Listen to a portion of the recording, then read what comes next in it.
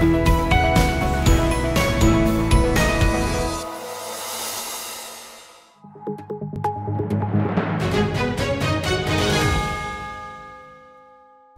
to the latest update program of Drishti IAS. In this series, the topic of discussion is in-house messaging app launched by Indian Army. Recently, the Indian Army launched a new messaging application for in-house communication. The new messaging application or app is called Asigma. ASIGMA stands for Army Secure Indigenous Messaging Application. It is a new generation state-of-the-art web-based application developed by a team of officers of the Corps of Signals of the Army.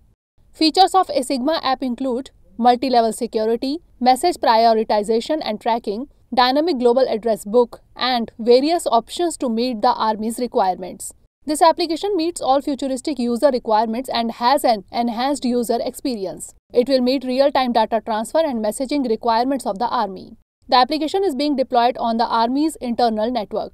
It is deployed as a replacement of AWAN, that is Army Wide Area Network. Significantly, AWAN messaging application which has been in service for the past 15 years. Dear viewers, watch this topic in Hindi on our Drishti IAS Hindi YouTube channel.